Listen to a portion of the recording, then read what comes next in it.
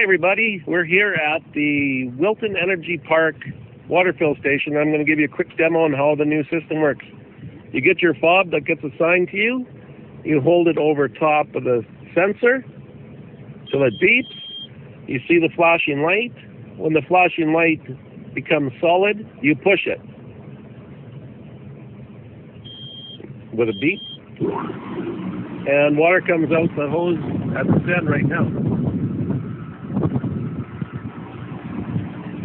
When you're completed, you touch the button again and it, it shuts off. Thank you.